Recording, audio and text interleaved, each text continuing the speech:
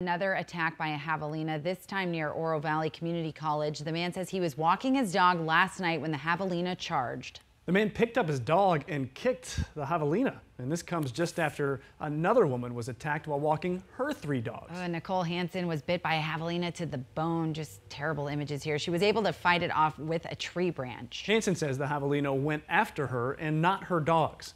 Arizona Game and Fish say to go the opposite way if you see one. Oh my goodness. All right.